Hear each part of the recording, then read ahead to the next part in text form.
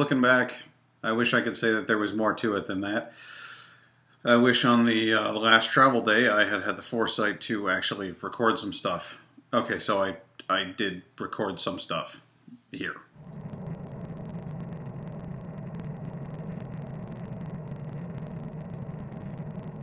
In retrospect, I probably should have recorded a little bit more.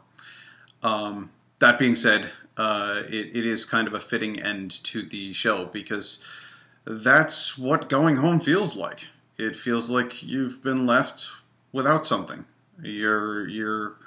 I mean, it's not it's not terrible. I, I was happy to get home and see my family and friends and stuff again. I, I missed them all while I was gone. But uh, when you're on a trip like that, having to get back on the plane and, and stop, it's it's a crap ending.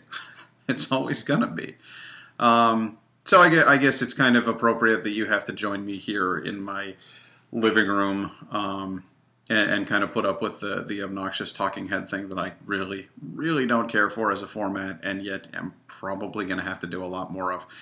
Um, in any case, uh, I'd like to take a, a, moment, if I could, to uh, personally thank uh, once again, everybody who donated to the GoFundMe campaign to uh, help get the second camera because the, the wacky backpack rig would not have been possible without you guys. Um, honestly, the vast majority of this series would not have been possible. Uh, and that's because I, I, couldn't afford the hard drives, I couldn't afford the extra battery packs, I couldn't afford the SD cards, any of that stuff. Um, so you would have gotten literally half the footage uh, possibly less than that. And uh, I'm really pleased with the way this thing turned out. Uh, so thank you a million times again. It, it's seriously, I'm so grateful uh, for all of that.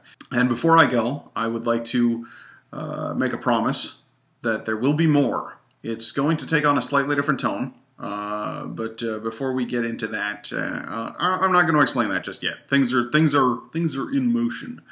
Um, so look forward to some different stuff. Uh, look forward to an anniversary special one year after I arrived home. Believe it or not, it's been almost two years since I got back from this crazy trip. Um, one year after I got home, I went and did something else very, very Norwegian. So uh, I'll be posting that up for you soon. Um, thanks for watching, guys. If you liked the show, subscribe, like the videos, comment, anything that involves like actually interacting with the show i would really really like i answer like all of the comments. I would love to hear from you love to get back to you so um, i love making crazy eyes. I do that all the time. So uh, give me a yell and i will uh, i will yell back at you furiously. And um, i guess the best way for me to close on this is to take a moment to reflect on some of the amazing moments uh, that I experienced while I was over there. So we'll end with that. Thanks so much, everybody. Take care.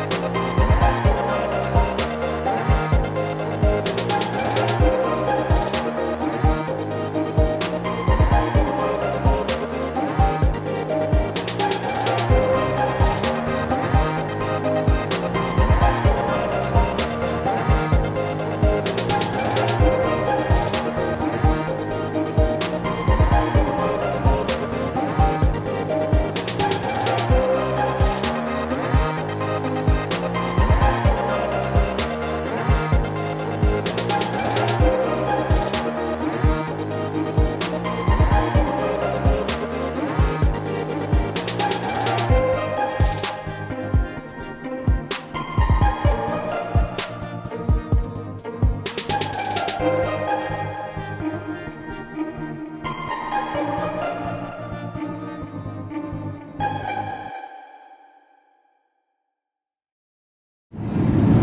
guess uh, we kind of end this thing um,